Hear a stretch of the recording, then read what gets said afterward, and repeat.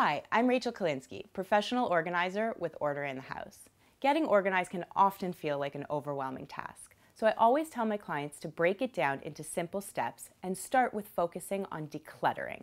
So pick an area of the home and get rid of all the items you no longer need or love.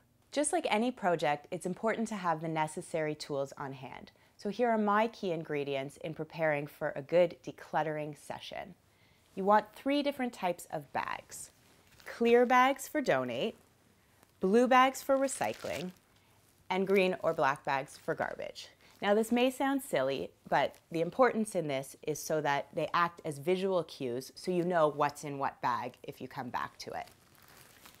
The key to staying focused is to remain in the room that you're working on. So you should also set yourself up with two boxes.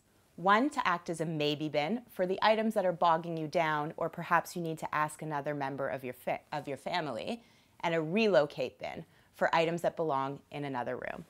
Lastly, a marker and a roll of masking tape to label your bins and set reminder notes.